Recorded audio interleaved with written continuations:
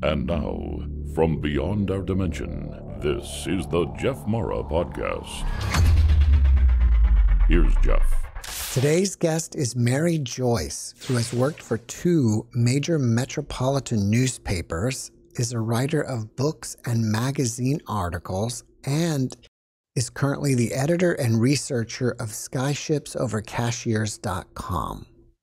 We'll be discussing the Cherokee Little People, Bigfoot, and more. Mary, welcome back. It's so great to see you again. Absolutely. I hear you're a little bit hot there in Texas, but uh, anyhow, uh, hope your AC stays on and uh, keeps you cool. Thank you. Yeah, me too. I should only do the podcast in the morning because it's so hot in the evening here. I can understand. Before we get started, I want to let everybody know that Mary was on previously, and I think the podcast is number 612. And during that podcast, we talked about UFOs and things that can be found on Google Earth and Google Mars. Yeah, that was I enjoyed that conversation. Mm-hmm. And by the way, I, I, was checking on it before we came on the show. I wanted to make sure I didn't have the same blouse on. Mm. But anyhow, um, that is the easiest to find if you just scroll down to your major heading, uh, which is UFOs and aliens and things like that. And it's uh, on the top row when you go there. So that's the easiest way to find it. And um, I hope everybody takes a look at it because I discovered stuff that uh, most people don't know about on Mars, on the moon, at the bottom of the ocean, in Antarctica. So I encourage people to check out that video also. And I was informing Mary today that I will be releasing a Spanish and Portuguese version. So if you speak those languages and you want to listen to it that way, then I hope you enjoy it. It was kind of fun to hear us um, uh, speaking in a different language. It, it was almost humorous to the ears. Yeah. Well, Mary, who are the Cherokee Little People? Well, I'm probably like a lot of people in, in your audience. I've never heard of Cherokee Little People. And when I moved to the mountains of North Carolina, I began to hear these little legends about them. And I thought that's all it was, was legends. And then one day, um, uh, an elderly man who's highly respected here where I live um, told me, no, they're real. And he had such a great reputation. He was a World War II hero. He was a pastor like 40 something years in, here in the mountains. Um, and he said that when he was first out of the military, right after World War II, he was involved with construction at Western Carolina University. And when they would cut into what was supposed to be virgin soil, they would find these little square cut tunnels made out, cut into um, very dense uh, red clay. They were square cut with an arch top. If you know anything about construction, the arch makes the tunnel stronger. And like anywhere they were digging, they would run into these little tunnels. Uh, they eventually uh, found uh, little skeletons, and um, he was he was my key to open a lot of doors uh, because I never would have been able to talk to these other men uh, without his help. Uh, you don't just go up to somebody's door and knock and say, "Hey, I want to talk to you about this or that." And they were all construction workers, almost all of them, uh, during the early days of building Western Carolina University. So I spent one year, uh, not the whole year, but spending my Saturdays around kitchen tables talking to these old timers, hearing their stories about what they had found when they were, you know, running um, uh, construction equipment or whatever. And uh, if he hadn't opened the door, I would never have gotten those stories. So those conversations around the kitchen tables were really, really great. And in the book that I've written about that, um, I have a quick summary of each one of the witnesses, but I also have the dialogue. And I did that for, for two reasons. One, so that people can get the feel of the real conversation from the way the people speak. The other reason was I figured I wasn't smart enough to know everything and that about little people and that they might give me a clue that I might overlook if I was just doing like a writer's uh, condensed version of their story. So I have both there.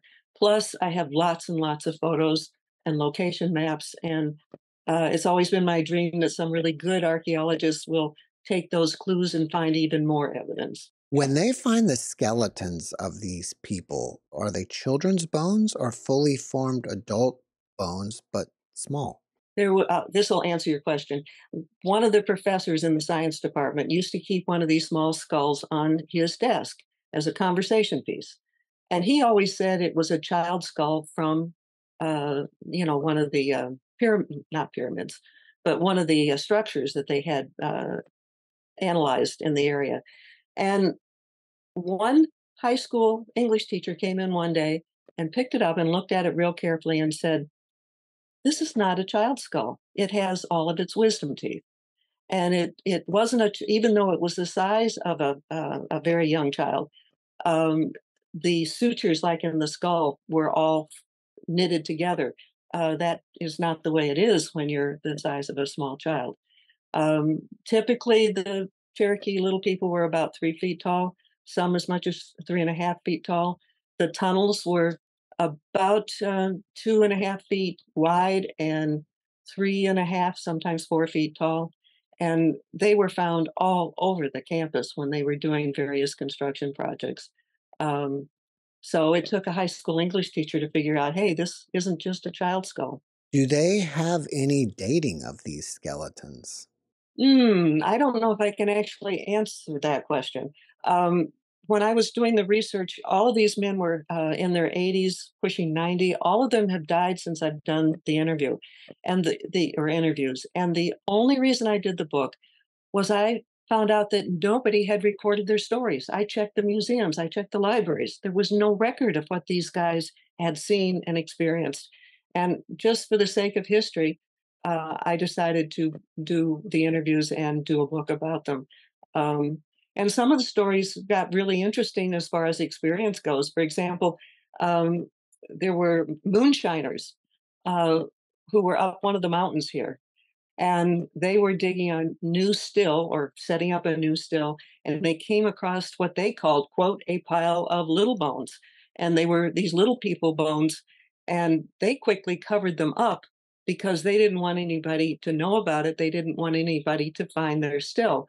Well, one of these old moonshiners actually took me back. He was, I think, 89 at the time, had lost a lot of his vision. He only had the center vision. And he and his wife uh, took me down these old trails to where the old still had been. He could never find it, uh, probably because there wasn't all that much left, but we tried. And so I've met some interesting characters in the pursuit of uh, learning about Cherokee Little People. Are there any historical records within the Cherokee Indians that talk about the, the little people? Well, this is kind of, I found this interesting. Once I published this book, Cherokee Little People Were Real, notice it was in the past tense. Notice that that I have learned stuff since then. Once I published that, the Cherokee realized I was taking the subject seriously and I wasn't going to laugh at them the, the white people have a history of laughing at these legends of the little people, so the Cherokee just shut up. Some of my cutest stories came after I did the book. Uh, and if I were to redo the book, I would say Cherokee people are real because there are still some in the remote areas of these mountains. Um, there was one very shy uh, Cherokee woman. She was 29 at the time I met her. She never would have talked to me except we had a mutual friend, and that friend convinced her uh, to talk to me and share her stories. And she told me some cute ones. Um, one of my favorites is she said that her family had a uh, place in the remote part of the reservation, the Cherokee Reservation, uh, where they would have family gatherings. And they set up a small trailer there so they would have a bathroom and a place to cook food. Well, they were up there, um, and she was playing with the other kids. They were playing hide and go seek. She decided to go hide in the shower of the little trailer. And when she pulled back the curtain, there was a little Cherokee man grinning at real big, scared the you know what out of her. She went running to her daddy, but she described him as looking like uh, Mowgli from the Jungle Book. So that gives you an idea of what they look like. And um, there's also she told me a, a number of stories. Another one, um, she had an aunt and uncle that lived in Snowbird, North Carolina. This is much more remote than the Cherokee Reservation. There are actually more full blooded uh, Cherokee living in the Snowbird area than there are on the reservation. And she was down there with her aunt and uncle, and the uncle told her that um, he would show her evidence that the little people came there. And so he took flour and dusted it across the, the porch. And uh, in the morning, you could see these little footprints in the flour on the porch. Now, that may not make total sense, but some of the old Cherokee will put out food for the little people, which would explain why they would, you know, be on their porch. And uh, I've often heard that when they forget to put the food out, um, they will hear pebbles hitting their roof uh, just to remind them, hey, we're here. Uh, don't forget us. Do you think the little people are from Earth, or do you think they're possibly ETs? I can, maybe we're all ETs. How's that for an answer? Uh, anyhow, uh, the, the Cherokee came here and found the little people. The little people were here before the Cherokee. And originally, the Cherokee people came from like the Great Lakes region, and some of them migrated down here. When they first arrived here, they found these little gardens, but they didn't see any people around. And eventually, they saw them, these little people, come out of the ground at night to harvest their produce. And so initially, the Cherokee called them the moon people because they came out at night. Some people think it's because they had maybe the big eyes, um, you know, like the the grays or something, and that would explain why they called them the the. They they began to say it was the moon-eyed people. It wasn't. They were just these little people who have features like regular humans, except they're miniature, and they have eyes like regular humans. Um, so the original name was because they came out at night to harvest their food. Inside the tunnels, were there any type of cave drawings or artwork found? The tunnels seem were made out of red clay, real dense red clay. They seem to be simply transportation uh, corridors for them to get from one place to another. Uh, they clearly were living underground. And as far as any markings inside those tunnels, the only thing that we ever found was tool marks. And it looked like a tool that would be like this that they did to, to scrape the walls. Um, so they were very uh, functional tunnels. They weren't ones like uh, uh, caves where people went and did artwork. Uh, there is a very large petroglyph rock uh, that's in this area where the Cherokee little people lived. And off the top of my head, it seems like it was like 15 feet across and maybe eight feet in the other direction uh, and has these um, uh, hieroglyphs or carvings all over it. Nobody knows what they mean, and the it, the Cherokee um, have looked at it, and it's not their work. They didn't do it, so we think that this is the work of the little people. Um, and to make this even more complicated, more interesting, in the same area where this petroglyph rock is, um, we've had Bigfoot sightings. And it's just very interesting that the little people and the Bigfoot are uh, in the same area. Do you believe that they just use the tunnels underground for transportation only? Or yeah, I just think it, no, I really do think it was the way they got from one place to another underground. It was mm. just like, you know, their sidewalk. Um, oh. and absolutely no carvings or artwork or anything that have been found in any of them there weren't any large rooms found underground. Uh, we found uh, a couple on one of the um, bluffs overlooking the university. The university is pretty much surrounded by mountains. And um, we can't tell if they were only used by the Cherokee or if they were used by the little people because it's in the same area. And these are caves where they especially went to live in the wintertime, where they, because they faced the south and so you would get the the the, the heat of the sun there to keep warm. Um, many people refer to it as the Cherokee Winter Camp. Um, it's very possible that some of those caves that are larger uh, were used by both people. Again, the little people were here first. When I think of little people living underground, what comes to mind are mythological people like dwarves or gnomes or something like that. Yeah. And the only difference being that these actually just look like miniature humans as we know today. And um, there's a couple that I know that live on another ridge not too far from where I live.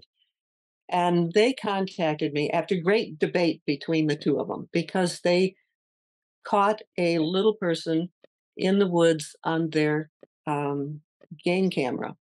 And they didn't, one of them thought it was a spirit, and one of them thought it was a real little Cherokee.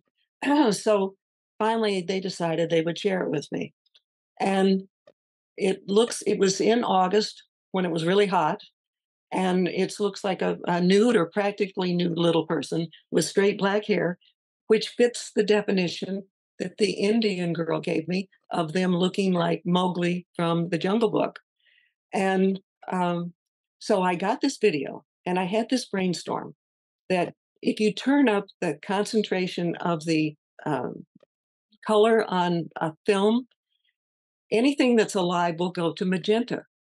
Anything that's spirit will stay white. So I found um, what I would call convincing uh, ghost pictures and I tested it with that. There's one picture where there is a ghost on his hands and knees playing with a very live child. And when I turned up the contrast, the little child stayed, went into magenta. The ghost stayed white. So I did this with this little person in the woods and it went magenta. So it was not a spirit, it was definitely uh, a living, breathing uh, little creature. Um, the husband went out by the tree where they where they caught the little person or caught it on on video, and they used a mark on a tree to figure out how tall it was.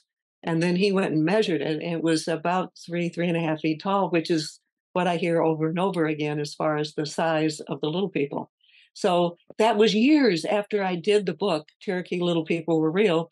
It took that long to get something that might actually be a picture of a little person. That's amazing. Now, I think that there are lots of reports of UFOs in the area, and some people even believe that there are UFO bases. So I wonder if there's a connection. There are all sorts of theories about both the Bigfoot and the little people being connected with the star people. You might find it interesting that the Cherokee believed that they originated from the Pleiades. That seems to be very common among many North American Indian tribes. They feel that's where they came from. They often hide their legend stories in tales of the seven sisters. There's seven stars in the Pleiades, and so that's how they would, you know, continue the information or the story about them. Um, I found that really, really interesting. So the Cherokee themselves believe they originated from the stars. Um, it is commonly believed that um, uh, the little people did too, but perhaps further back in time than we humans. Um, there's similar stories with the Bigfoot. And one man in another part of uh, this state has Bigfoot living on his land. What happened was the forestry was clearing all sorts of forest land. So the Bigfoot were ending up on his property. And he became a fanatic about keeping track of the, the Bigfoot.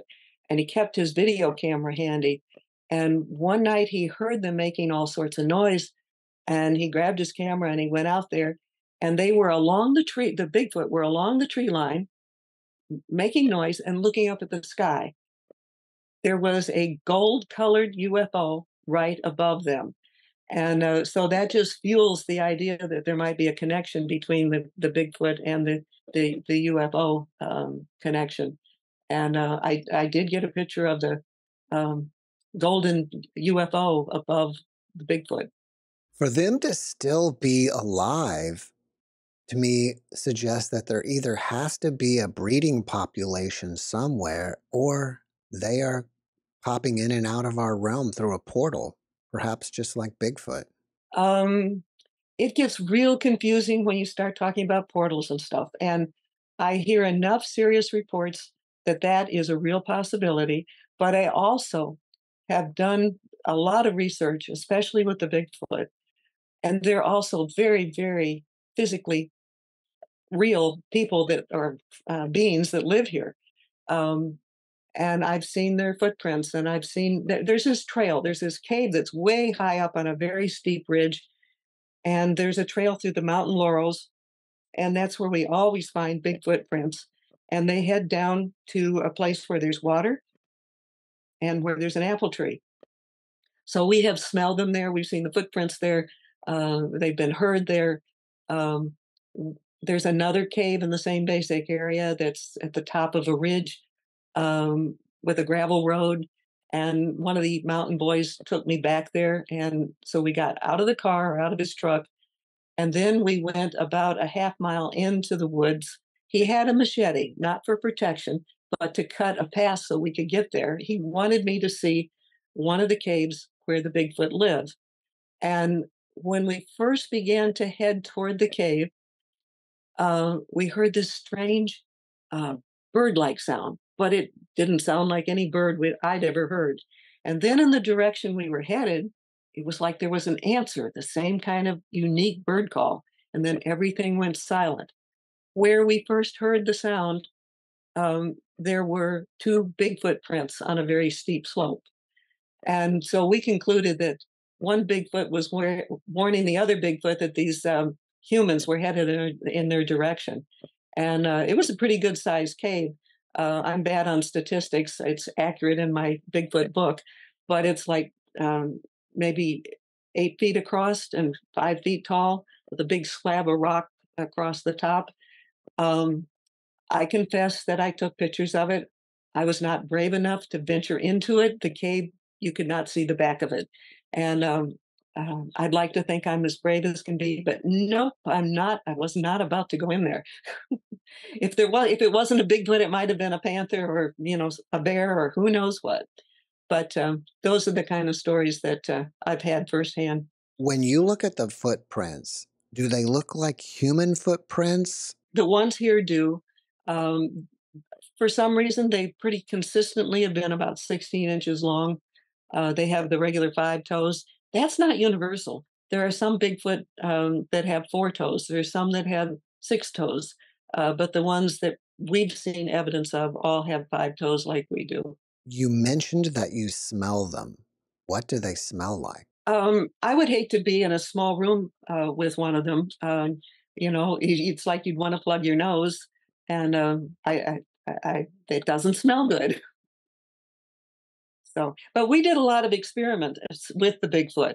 Um, we found these trails that they would take all the time, so we did food experiments, and we would put things out in different containers to see what they like the best. And um, they're kind of like uh, kids. They love the fruits except for the oranges, and they don't much care for the vegetables.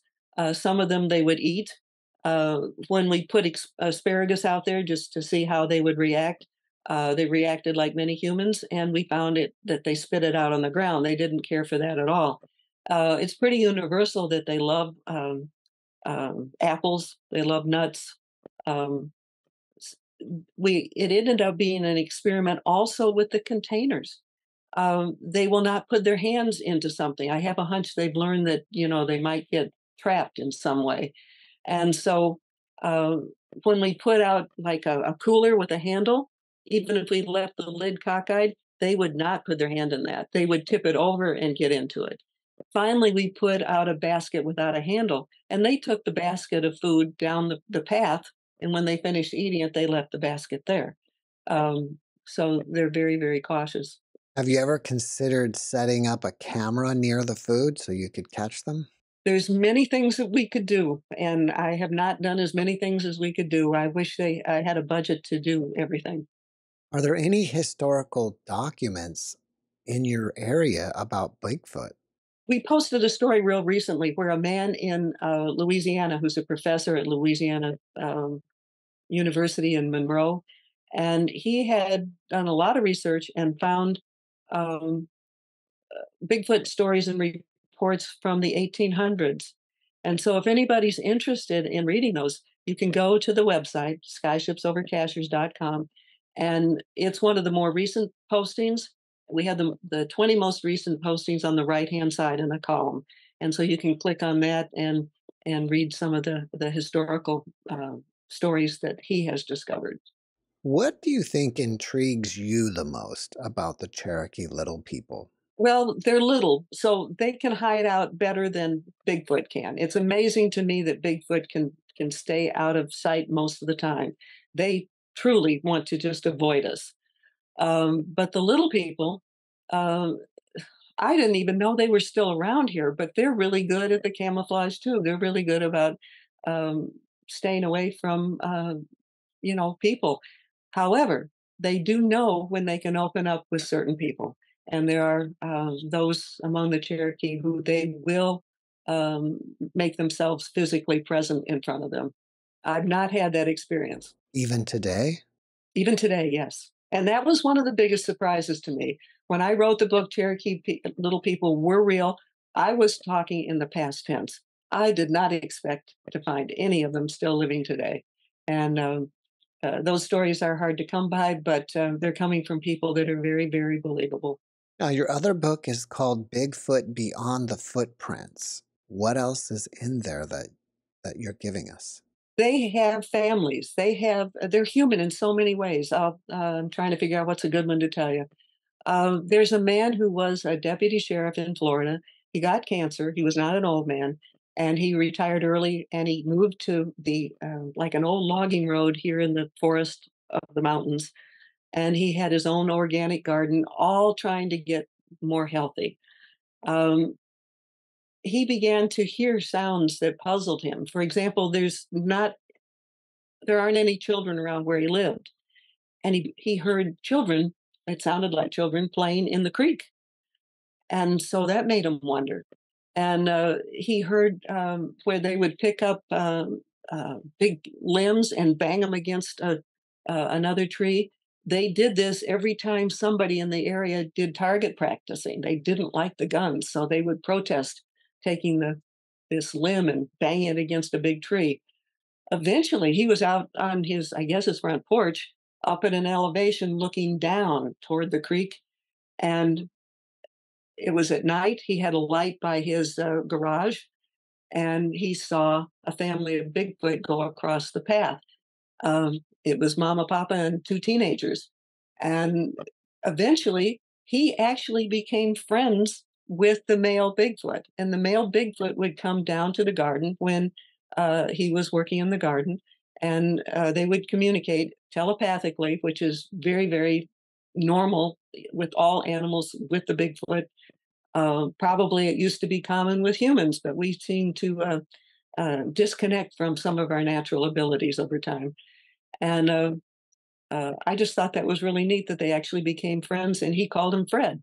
Does he talk about their conversations? It never got real deep. You know, sometimes you really, really want something deep. Like when I listen to uh, uh, your broadcasts when you feature near death experiences, the people have had really something traumatic happen in their lives and they focus on that part of the experience. I always want to know what is it that they learned? What is it they saw that the rest of us haven't seen?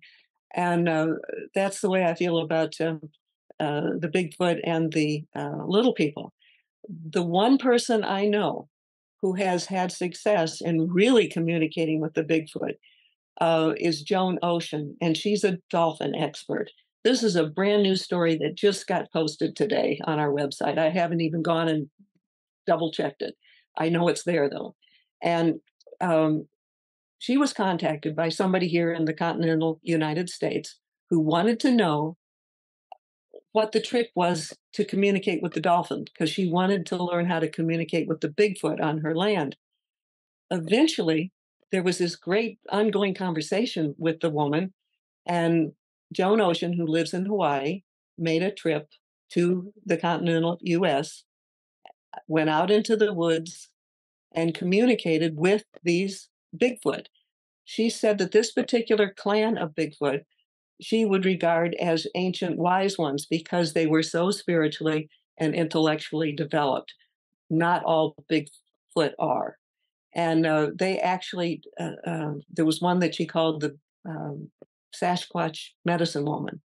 And she would actually write notes to her. For example, the first time um, the Bigfoot gave Joan a gift, there was a little scrap of paper. It, it said something like uh, uh, "gift for Joan," um, and um, then there was a male Bigfoot in this same clan, and he communicated with her on this pad of paper that Joan provided. So she had a notebook out in the woods with a pen, so they both, so both the Bigfoot and she could communicate. And um, he wrote in pet, petri, uh, not petroglyphs, uh, pictograms. Uh, everything was symbolic, but the medicine woman actually wrote in um, printed in English. It wasn't writing; it was printing. Oh, it's amazing. I was just That's a great story. That. So uh, I I think the world of Joan Ocean. She's such a credible, wonderful person, and I encourage your your um, followers to uh, check that story out. Well, does she tell what the trick was to get them to respond?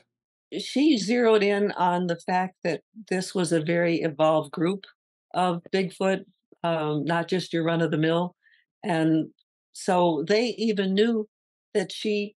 They called her Water Woman uh, because uh, she's always in the water with the dolphin. They knew that before she arrived at the at the forest.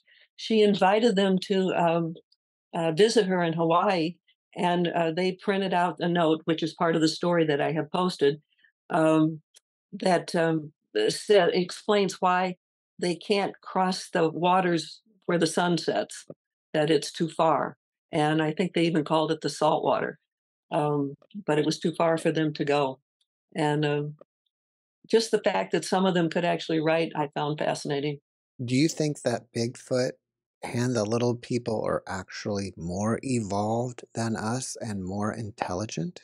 Um, not all of them, no, I don't. Uh, clearly, the group that uh, Joan has tapped into, and some of the other people. There's a, a Dr. Johnson out on the West Coast, and he has uh, tapped in and communicated at a very deep level with the Bigfoot too. Um, and so some of those uh, Bigfoot actually know more about our history. They were here before we were, um, and they are very, very knowledgeable. Uh, but I would not say that all Bigfoot are. It's just like us. We have uh, we have such a range of human beings. Why do you think that we can't ever get good pictures of them or good because video? they don't want their pictures taken and they can hear us and they know we're coming long before we get there. Uh, it was described that we send out um, uh, vibrations like we're going through the forest with a bullhorn. And so um, they know long before we get there that we're there, um, and they they will try to avoid us uh, if they possibly can. And they, uh, they uh, I have never seen this, but I am told from people who are around Bigfoot a lot that eh, they really can uh, like disappear before your eyes. Um, and I think your listeners like cute stories. Let me tell you a cute Bigfoot story. Sure. Uh, one of the gals has had Bigfoot living on her land since she was a child, and she had a pony, and the pony was in a fenced area. And uh, um, puzzling enough, every time she would put the pony up at night, it would be gone in the morning. And she eventually got a big long boat rope and tied him up. And he still would be gone in the morning and the rope untied. And she would find the pony out in the woods and his big and his um, feed um, container and his water container would be dragged out there. And then one day she saw these little tiny muddy butt prints on the back of the pony the Bigfoot were taking their children for rides on the pony. Now, if that doesn't sound human, I don't know what does. Is there one eventful story that's well known in the region about Bigfoot? There's one story which is really, really big in my mind, and I've never had anything else happen to this extent. It we have the dramatic, scary stuff, and we have the the warm, compassionate stuff all in the same story, but it starts out scary. And it happened at the top of one of these ridges here in Western North Carolina. And to get to this home where this was happening, you go down this, uh, it's probably just about a mile. It's a little one lane road that follows a creek between two mountain ridges. And when you get to the end of the road, it opens up into a big uh, uh, bowl shaped, not big, but a little valley. And there's a small house, a big house, and a barn and a pond. And so what was happening was these people that lived on this land were having really bad Bigfoot experiences happening. Um, it started out um, that they would have these uh, muddy fig- uh, fingerprints, big ones, all over their vehicles. Um, they they even had times when the motors would be turned on to the vehicles. They never moved them, but it turned on the motor, so they quit leaving their keys in the cars. And then they began to um, explore the small house. And in the book, I have lot. If you want pictures, I have lots of pictures with that. Um, you can see the muddy handprints all over the door. You could see where they were struggling to try to figure how to get in there. They eventually got in. Uh, one time, the the woman um, went to town and she left the clothes drying in the dryer. And when she got home, there were these muddy prints all around the dryer. It's if they were watching it, the clothes turn, uh, just like you would watch TV. Uh, she decided that she and her uh, children would move out of that house and move into the big house, which is where her parents had lived. And then it started at the big house. And um, one of the most interesting things was they the Bigfoot pretty much left the living room alone. They chose to go upstairs where the children live. Now, these are not young children. These are, you know, I think maybe at least 12 years old, and the, the oldest one is like a teenager they went into the kids' room. And we really do think it was the young Bigfoot that were doing this because there were these drawings on the wall. They had taken like crayons and things like that, and everything was below the, the light switch. The Bigfoot would have a hard time squatting down to get that low to do these things. So we figured the kids had done it. And then they went into the bathroom they tore up the toilet. We all were grateful they didn't know what the toilet was for, though it would have made a great DNA sample. Um, they squeezed the toothpaste all over the place. Um, the teenage daughter uh, would was afraid, and she would lock her bedroom door, and even when she wasn't there. And I have pictures where you could see the hands of the Bigfoot had gone under the little space underneath the door. And you can see these big claw marks uh, trying to open the door uh, by pulling it from the bottom. Um, these people were scared. Uh, the, the woman got herself a bodyguard who carried a gun, and she eventually moved off the property and just would come back every day to check on the place. Um, I was there eh, with some other people trying to figure out exactly what was going on. So this is what had really happened. They, the people, the human people, had been renovating or uh, fixing the pond. The pond was created by damming up the stream. And so there was a guy out there with a jackhammer and going through, uh, just drilling down. He went through bedrock, and suddenly all the water in the pond went down this hole. We eventually figured out that the Bigfoot lived in the cave beneath that. They were really, pissed that their little underground home had been destroyed. That also explains why they were muddy all the time. Their hands were muddy, their feet were muddy, they left prints and stuff everywhere. Um, and this is where telepathic communication comes in. The, the woman and also another person who came in later communicated with the Bigfoot that they didn't mean for that to happen, that it was an accident. They didn't know that they lived beneath that, that they would never have done that to them. So the humans are apologizing. Guess what? After that apology, there was this piece of burlap that had been shaped into like a basket that was placed in front of the, the, the front door of this big house. And there were all these little things in this little makeshift burlap basket um, off the top of my head, I can't remember what they were right now, but there was like shiny things. There were some old coins, uh, different things, and they had left that as a peace offering. And after that, they didn't have trouble anymore. So they went from being terrified and having a bodyguard with a gun um, to, you know, making making up and understanding each other. That's an amazing story. It would be fascinating. Yeah, you, don't get, you, you don't get stories where it does like a full circle. It would be fascinating if some of those coins were hundreds of years old. Yeah, it would. It probably would be. It, and there was one shiny thing that was kind of a like a goldish color. I could not tell from the shape of it what it was. I really, really couldn't. But uh, it, it, it, would catch the eye. And it's very common that they Bigfoot will leave um, crystals or uh, pieces of um, granite or something that has a reflective quality to it. Uh, so when they really um, begin to have a rapport with some humans, there will be gift exchanging. Oh, let me tell you another story about gift exchanging. Sure. Uh, we were doing our food experiments and uh, in one part of the mountains, and all of us went on vacation at Christmas time, and so all the food stopped. Well, we had also put out um, some things I had done with a wood burning set.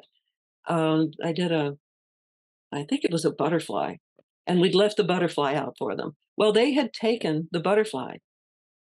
And after we got back from vacation, they had returned the butterfly. And all we could think of was we had stopped putting food out for them. And they may have thought that they had done something wrong by taking the, the um, I don't know, the little butterfly. And so they returned it. We don't know. We're trying to get into their minds, and that's the best we can do. Do the Cherokee Indians in the area have any myths or legends of any other beings? If they do, I don't know much about them. Um, they always talk about shape shape shifters. Not always. Some of them do. Uh, I have not explored that a whole lot, but they definitely believe in the in the in the Bigfoot and the little people. You mentioned your website earlier, and it's called skyshipsovercashiers.com. What other articles do you have there if people want to check it out? As I've told you, either on or off the air, I don't know which. Uh, we started that website because there were so many UFOs being over seen over the town of Cashiers, North Carolina, and we've grown way beyond that. And we'll get into archaeological stuff. We will get into um, underground bases. We have five of them that I have found out about here in the mountains. Um, you've heard us you've heard me talk about antarctica you've heard me talk about um, all sorts of things so what happens is i get bored very easily and if i get curious about something i'd like to go up and and and, and learn about it so there's quite a bit of diversity in the in the website.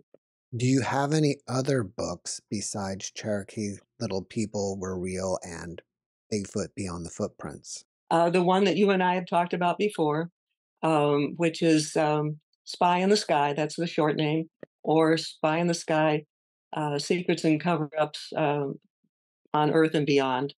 Uh, I've written another one on underground bases hidden in North Carolina mountains, and another one on tangible evidence of Jesus.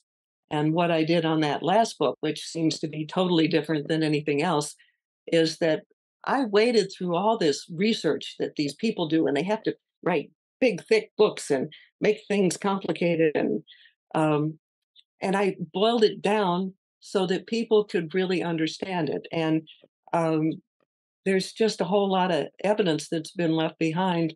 Um, and so that book um, it has a lot of photos in it. These books can be found on Amazon? Yeah, that seems to be the only way to go. Yes. If somebody wants to ask you questions, are you open to that? And if so, what's the best way to reach you? Again, go back to the website, skyshipsovercashiers.com. And on the left hand side, there's different categories of subjects we get into. Up near the top, uh, there's one how to make contact or how to report a UFO. And you can uh, reach me through that information. Interesting. Do people report UFOs to you often? They did a lot more than uh, in in the beginning than they do now because now most of us have seen so many little blips going through the sky that just showing more and more and more of those gets boring and uh, so we don't print as many of them as it has to be more unique for us to to print those now do you think that full disclosure will happen anytime soon we are the disclosure and the government won't tell any more than they're forced to tell and so there are now programs like yours, websites like mine, um, that are like a, a little net, not a little network, actually quite a large network. And so the information is coming from the bottom up and it's pushing the guys at the top to reveal more and more. Uh, to this day, they keep talking about um, things in the future, like we're going to go to Mars. Well, I have clearly found evidence that's got me convinced totally that, um, um, you know, we, we're already there. Well, Mary, before we finish up, can you leave us with one last positive message? I believe you asked me that the when I was on before, and I said something about being kind. This is a similar comment. Be respectful. And there's a book which I've never read, but I love the title. It's something like uh, All You Ever Need to Know You Learned in Kindergarten, or All I Ever le- Learned to Know I Learned in Kindergarten. And it's about being respectful, about taking turns, um, about sharing. We seem to have forgotten some of those basics that most of us were taught back in kindergarten and first grade. And we need to begin to be more like a kind kindergartner. That's a great message. Mary, thank you again for joining me. I wish you the best and let us know if you come out with a new book. All righty. Thank you so much. I wish you the best with what you're doing. Thank you. Buenos dias. All right. care. Thanks for watching the Jeff Mara podcast. I really appreciate you. Another way to show support is through YouTube memberships. And if you do, there are loyalty badges and other perks depending on your level of membership. All you need to do is click the join button underneath the video to find out more. Thank you for your support.